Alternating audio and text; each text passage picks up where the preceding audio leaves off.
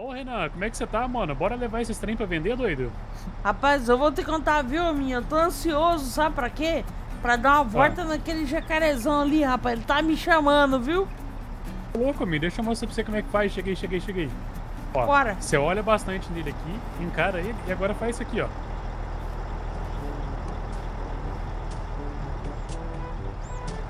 Sério isso? Oi, você não queria dar uma volta nele? Você tá de brincadeira com a minha cara?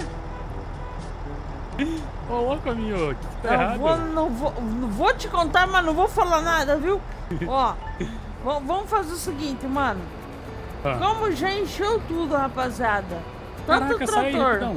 Sai rapidão. Vamos mostrar uma coisa pra galera. Cortando-se rapidinho. O quê? Renan, você viu que essa colheitadeira agora ela tem alto ajuste, mano, nas plataformas? ali. Filme, tá torto pra direita ali, ó. Então, mas ela se auto-ajustou, mano, tá ligado? Eu vi que a galera comentou que agora ela tem auto-ajuste padrão no jogo. Pouco, né? Caramba, rapaz, que doido, mano. Deixa eu ver. Antes era só os mods, né, que tinha isso. Sim. Vamos guardar lá então as bichanas lá, mano, pra gente ir lá ah. armazenar no trem esses grãos aí. Porque, rapaz, a gente não tem nenhum silo aqui, galera. Então, a gente tá usando lá o silo armazenamento lá do, do trem por enquanto, tá, galera? Até porque lá é onde mais tá pagando por enquanto também pelo sorgo. Então, provavelmente a gente vai estar tá vendendo em breve já a nossa safrinha, rapaz. É isso aí, galera. Pra quem não assistiu o episódio passado, mano, dá uma passadinha lá. Faz um resuminho, a gente meio que comprou aquele jacaré e finalizou uma colheita, né? E agora estamos pra vender os grãos, mano, pra ver o que, que vai dar. Tá, eu vou pôr aqui, ó. Um lugarzinho que ele tava. Pegando uma aguinha rapidinho, mano, pra não, não, ficar tudo impregnado. Já que eu já tava aqui, não estava nada, né? É verdade, eu né? Já acabou, né? Calma aí. É verdade. É, acabou a colheita, acabou a safra, tá ligado? Homem, aproveitando que você tá com a mão na mangueira aí, joga uma água aí. Eu só não sei se vai alcançar, deixa eu ver. Eita, pega. É, mas não precisa bater na case. Hum. Calma aí, rapaziada. Deixa a case aqui.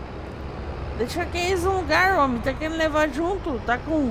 É que a, que a Renew Rod tá com ciúme da case, tá ligado? Homem. Aí quer bater nela. É, eu acho bom você mesmo pegar na mangueira aí, mano. Pega na mangueira, porque, porque senão você vai ficar com ciúme também, tá ligado? Vou pegar na mangueirona aqui, ó. Vamos lavar então. E, ó. Tem que dar um talento, né, galera? Finalizou a safrinha. Dá aquela lavadinha pra tirar o mais grosso aí, tá ligado? E guardar, mano. Tudo certinho, bonitinho lá, limpinha. Pronto pra próxima safra, mano. É isso aí, galera. Então hoje a gente vai ter a venda praticamente desses grãos, né? Porque a gente tá precisando de uma graminha. Eu não sei se você viu depois, mano, a gente vai ter que cortar essa grama aqui, tá ligado? Sim. Ó, oh, tem um cortador de grama ótimo pra você ali, mano. Você não ah, sabe. eu tenho um ótimo pra você também, Renan. Porque, tipo, já que você falou que é ótimo, você pode usar, porque eu já comprei o meu na hora que você vê. Dá uma olhadinha aqui. O celular. Vem cá! Você larga a mão do seu vagabundo jogando água nessa cara tua de pau, você vai usar aquele lado que até agora você não usou. Não, nunca nem vi, mano. Eu já comprei o meu, tá ligado? Galera, Mas deixa aí embaixo nos comentários. O Stelle tem ou não tem que usar o cortador de grama bruto ali sistemático? Tem sim. Ah, não. Aí, Desse ó. jeito não tem jeito.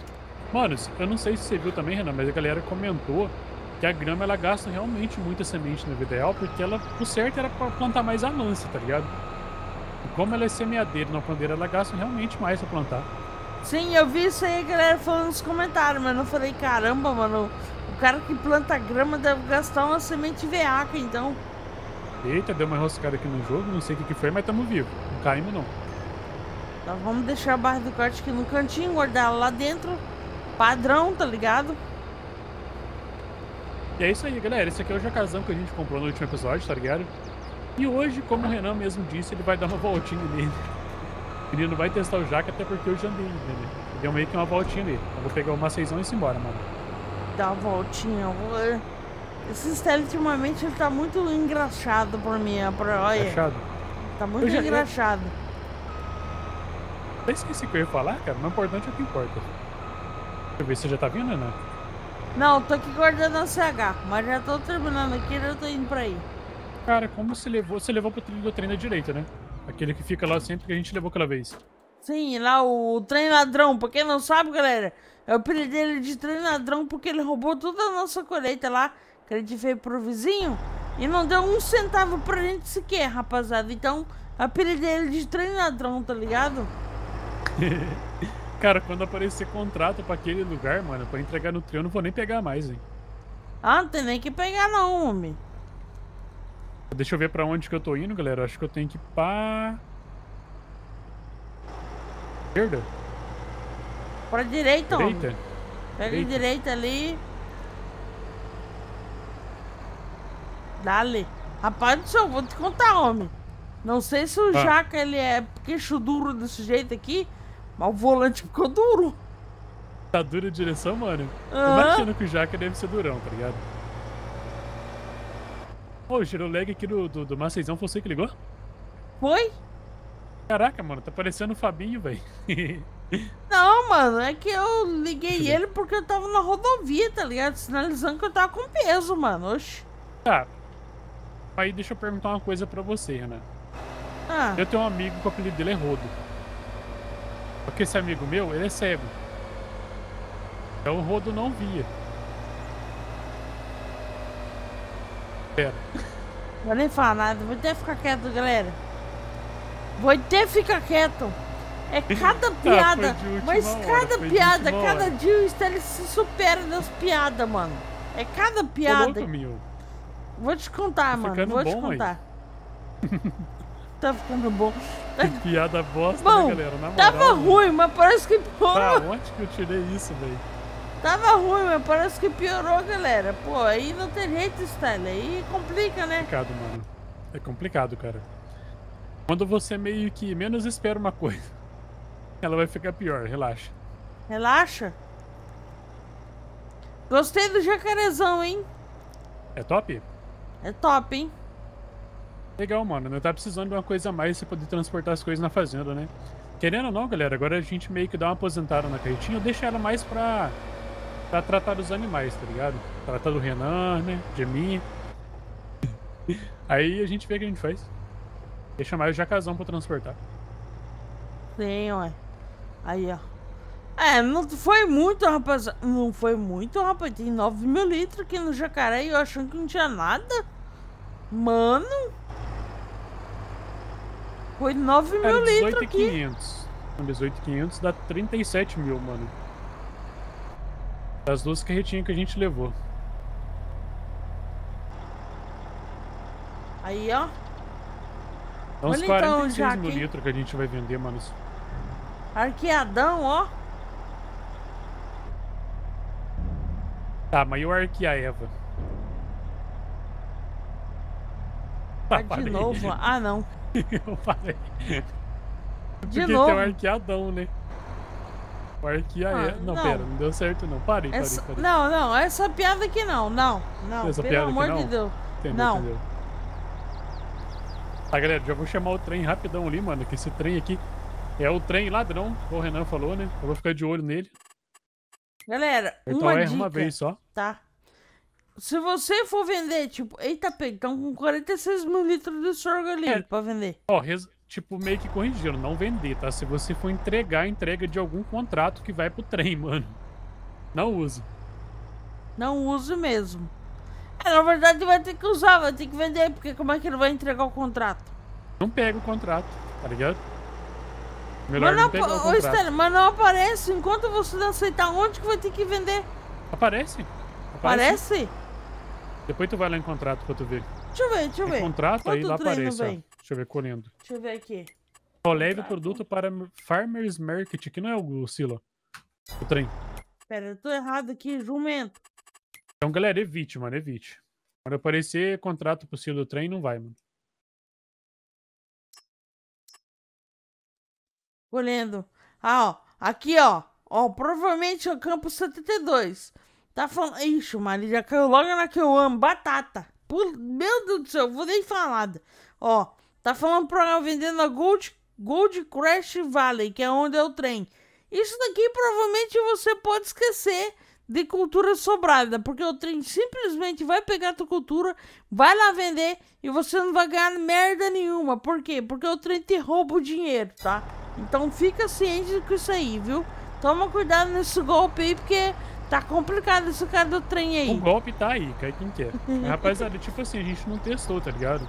Pra ver se realmente sobra, mano. Mas tem que sobrar, velho. Sobrar um pouquinho de cultura, igual o Farm Simulator 19, tá ligado? Vamos fazer um teste aqui, hora dessa. Olha o trem Uma aqui. hora, foi uma hora, rapaziada, que a gente colheu mais de 100 mil litros, acho que foi do que? De canola, Stanley? Não lembro, Cara, não certo. lembro, mano, de acho que- qual cultura. Mas de qual você tá falando aqui? No 22 mesmo? Olha aqui, até que a gente perdeu. Foi milho, cara. Foi milho. A gente Foi colheu. milho? Então, Foi milho a galera, última vez. a gente tirou mais de 100 mil litros de milho pra vender. Tá ligado? A gente ponhou no trem, tipo, concluiu o contrato, mas não deu dinheiro nenhuma de sobra de grãos. Que no caso, pra quem joga o Farm Simulator 19 ou jogava, que provavelmente a pessoa tá no FS 22, ah, sabe que quando a gente fazia um contrato, ele pegava simplesmente sobrava e você vendia pra você e ganhava um lucro em cima disso. Só que aqui tá sendo diferente. A gente não sabe se é o trem que tá realmente roubando ou não é pra sobrar nada, mano. Eu não entendo. Ah, mano, acho que é por causa disso aí do trem, cara. Ele já leva tudo de uma vez, conclui o contrato e fica. Cara, no 19, tem uma galera que vai se ligar. Eu já tô levando aqui, tá? Tá. Negócio pra vender. Mas no contrato, ainda tem uma galera que vai se ligar. E quando você pegava o algodão. Mano, se você desse o fardo de algodão inteiro, não sobrava nada pra você, tá ligado? Por mais que o algodão tinha mais litro que o contrato pedia. Então acho que como o trem leva tudo de uma vez, ele não sobra pra você. Complicado de se falar, né, galera? Mas fica ciente aí, toma cuidado aí, porque é complicado, mano. Eu sei lá, na minha opinião, como os contratos tá bem barato, galera, pode ver, que tem contrato aqui tá barato pra caramba, de colher uns campos muito grandes. Eu acho que, na minha opinião, deveria sobrar algum grão pra você pelo menos retirar um- algum lucro em cima disso aí, mano. E a sua opinião, Stanley? Cara, concordo com você, mano, porque o contrato aqui tá uma vergonha, galera. Olha isso aqui pra você ver. Colheu um contrato por, sei lá, 1.500 reais, tá ligado? Pra você colher. E isso porque a gente colocou um mod que melhora o preço dos contratos. e É, mesmo isso assim tá aí. ruim. Imagina esse original. É complicado, né, mano? É meio complicado. Mas, rapaziada, o não foi lá vender. Não sei se vendeu ou vendeu agora. É, vendemos agora. 75 mil, li mil, mil dólares, né? Eu ia falar mil litros, mas tá bom. Muito obrigado a todo mundo que deixou o like pra nós até agora. Se não deixou, deixa aí. Se inscreva no canal que em breve vai vir novidades. Falou, fique com Deus. Fui!